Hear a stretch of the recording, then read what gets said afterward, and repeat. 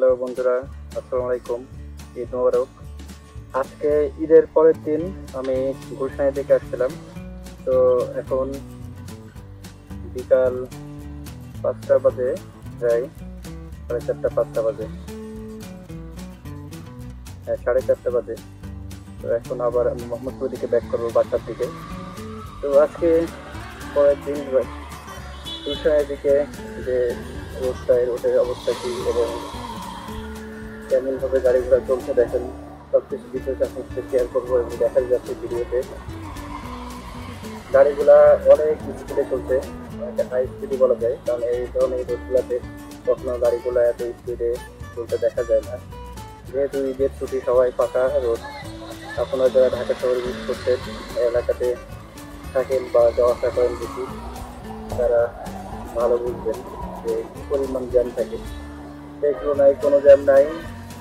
শুধু মনে হচ্ছে যে বাইকটাই চালাইতে থাকি চালাইতে থাকি।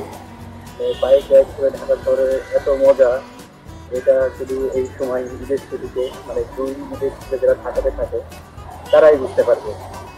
তাছাড়া এটা অন্য কেউ বোঝা সম্ভব না। যারা আমরা দেশের বাড়িতে আছি, তারা হয়তো এই ঢাকার এই চিত্রটা আমরা কখনোই দেখে সুযোগ পাই না। তো তাদের জন্য বেসিক্যালি আজকের এই ভিডিওটা।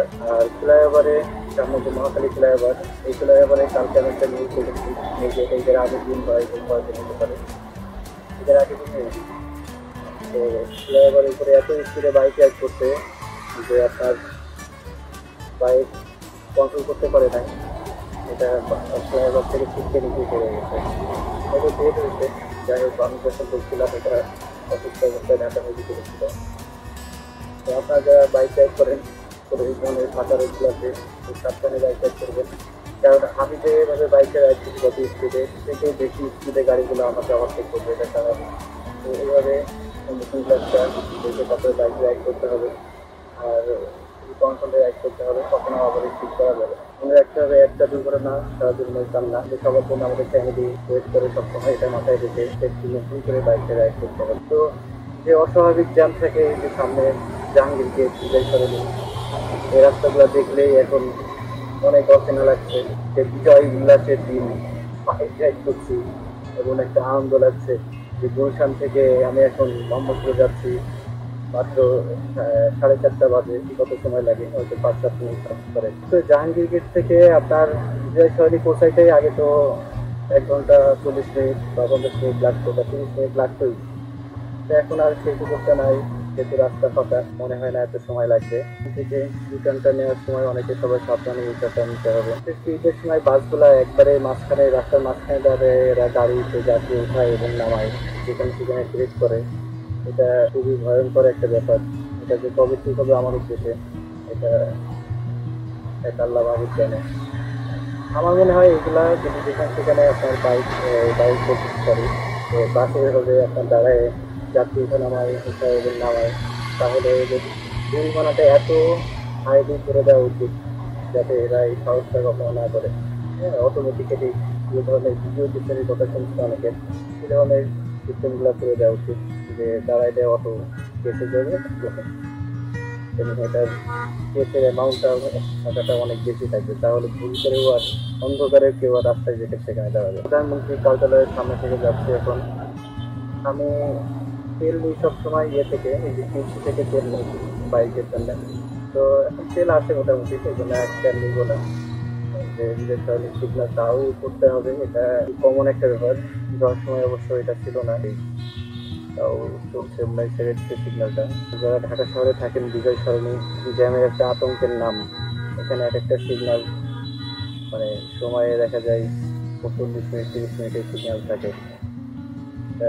এখন অনেক রিল্যাক্স হয়েছে।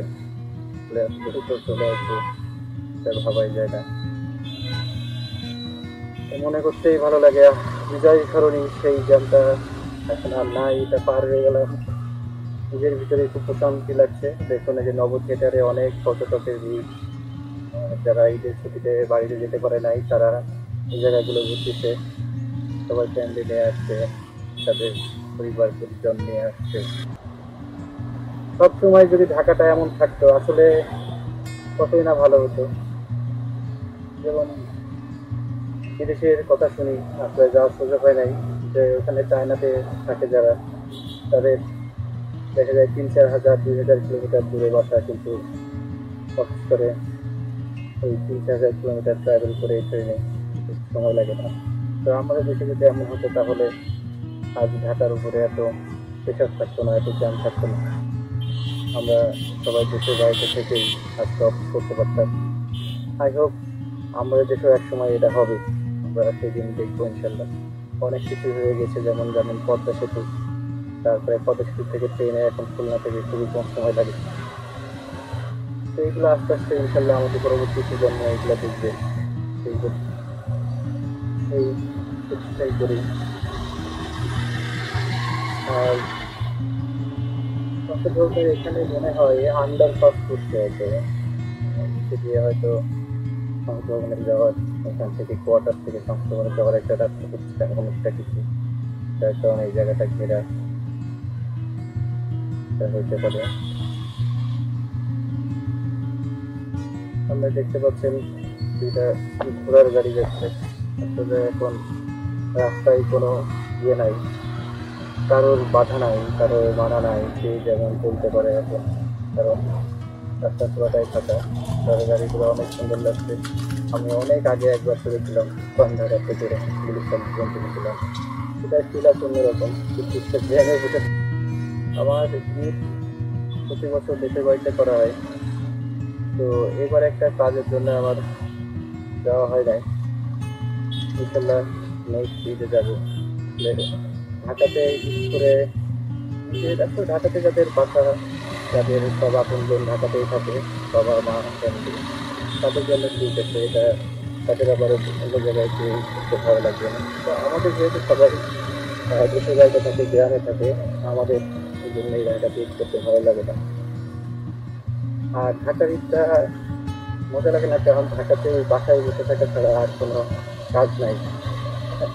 সবাই কমার্শিয়াল কেউ কারও খোঁজ খবর নেয় না জাস্ট মানুষের সাথে একটু বসে থাকতে সময় কাটে আর গ্রামে তো যাওয়ার আগে আপনাকে সবাই কেমন আছেন? ভালো আছেন? জিজ্ঞেস করতে করতে আপনি হয়রান হয়ে যাবেন এবং আপনাকে সবাই জিজ্ঞেস করবে, কখন আসছি, কী অবস্থা? সেগুলো গ্রামের আন্তরিকতাটা এখনও আছে যেটা শহর থেকে হারায় গেছে।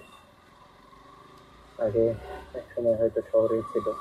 তো আমাদের যত টাকা পয়সা হচ্ছে, যত আপনার মানুষের জীবনযাত্রার মান বাড়ছে তত কিন্তু এগুলো কমে যাচ্ছে। এই ভাতৃত্ব বোধটা আশা দিয়ে বলছিলাম ছোট্ট একটা বেরিয়ে যাচ্ছে। আবার ঝুটিয়ে করছে দুইটা। খুবই কিউট লাগছে বাচ্চাটা। ছোট্ট একটা হেলমেট যদি পাওয়া যেত, এরকম বাচ্চার জন্য খুব ভালো।